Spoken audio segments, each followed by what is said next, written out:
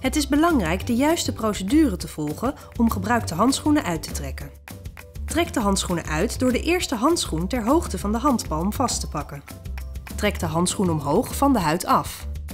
En schuif de handschoen van de hand af. Pak de tweede handschoen met de hand zonder handschoen bij de opening voorzichtig aan de binnenzijde beet. Keer de handschoen binnenste buiten terwijl je deze van de hand schuift. Zorg dat de hand zonder handschoen de buitenzijde van de handschoen niet aanraakt. Voer de handschoenen af en desinfecteer je handen. Dit is belangrijk omdat handschoenen hele kleine gaatjes kunnen hebben door de handelingen. De handen kunnen besmet raken door kleine druppels van de handschoenen tijdens het uitdoen. Of door onbedoeld contact met de buitenzijde van de handschoen.